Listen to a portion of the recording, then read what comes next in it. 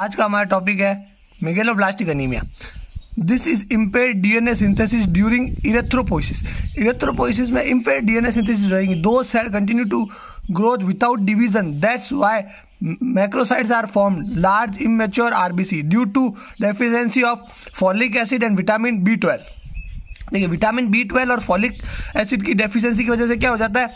Empire DNA synthesis होता है इरोथ्रोपोइसिस में। जब है ना आरबीसी बन रही होती है तो आप वहाँ पे इम्पेयर डीएनए सिंथेसिस हो जाता है और जो वो सेल्स होती है, वो है ना मतलब है ना ग्रोथ करती है बिना किसी डिवीज़न के। और है ना मोनोसाइड फॉर्म हो जाता है, जो कि लार्ज होता है इमेच्योर होता है और आरबीसी और वो किसकी वजह से होता है? तो फॉलिक एसिड और विटामिन बी ट्वेल्व की डेफिशिएंसी तो मेगलोब्लास्टिक में ये होता है इम्पेयर डीएनए सिंथेसिस हो जाता है, हो जाता है, उसमें मैक्रोसाइट्स बन जाते हैं, और किसकी कमी से फॉलिक एसिड और विटामिन बी ट्वेल्व की?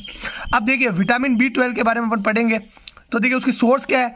Seafood fish meat egg cheese और मिल्क ये सारे विटामिन बी ट्वेल्व के सोर्सेज है और ये ऑप्टेंट होता है विटामिन बी ट्वेल्व अपन को एनिमल से।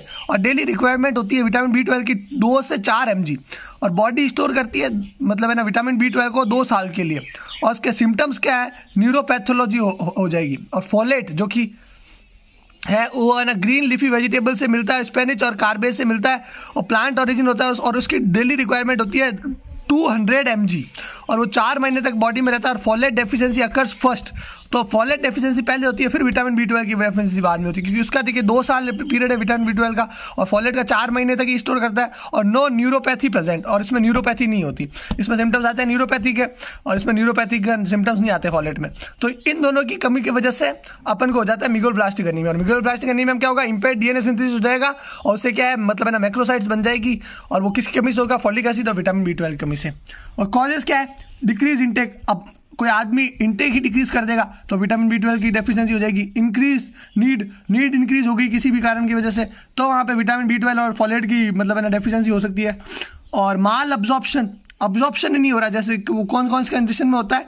वो होता है गैस्ट्रक्टोमी कोलियाक डिज़ीज़ और ट्रॉपिकल स्पाउल कोलियाक वो ये और deficiency of intrinsic factor intrinsic factor की डेफिशिएंसी हो गई तो भी अपनों को ये मतलब है ना मेगलोब्लास्टिक अनीमिया हो जाता है। और डेफिशिएंसी ऑफ़ इंट्रेंसिक फैक्टर को हम बोलते हैं परनीशियस अनीमिया तो ये क्वेश्चन आता है कि परनीशियस अनीमिया क्या है? तो due to deficiency of intrinsic factor जो अनीमिया होता है, उसको बोलते हैं परनीशियस अनीमिया अब देखिए इंट्रेंसिक फैक्टर क्या होता है?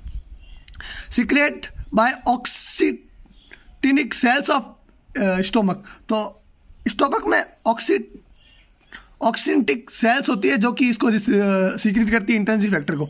ये हेल्प करता है absorption of vitamin B twelve in ileum अब देखिए, जो है ना इस अपने स्टोमक की लाइनिंग है, उसमें विटामिन बी ट्वेल्व को, ये ऑक्सीनेटिक सेल्स जो कि इंटेंसिव फैक्टर मतलब है ना सिक्रेट मतलब है ना सिक्रेट होता है ऑक्सीनेटिक सेल्स ऑफ़ स्टोमक और इंटेंसिव फैक्टर काम क्या होता है? ये हेल्प करता है विटामिन बी ट्वेल्व को ऑब्जॉर्ब करने के लिए इलियम में।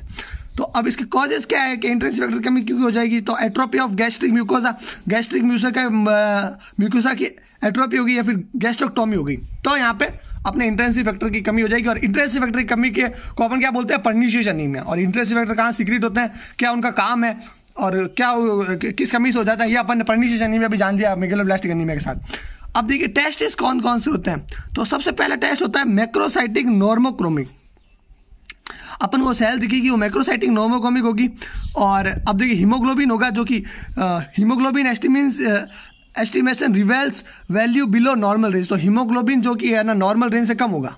अब अपन पता क्या चलेगा मेग्लोब्लास्टिक में तो देखिए, सबसे पहले तो मैक्रोसाइटिक नॉर्मोकोमिक सेल्स होगी, फिर अपन हीमोग्लोबिन कम होगा, और रेड सेल वो जो होगी वो मैक्रोसाइटोसिस शो करेगी, और रेड सेल इंडाइसिस होगा, जिसमें एम बढ़ा हुआ होगा, और एम नॉर्मल होगा, या फिर हाई भी हो सकता है।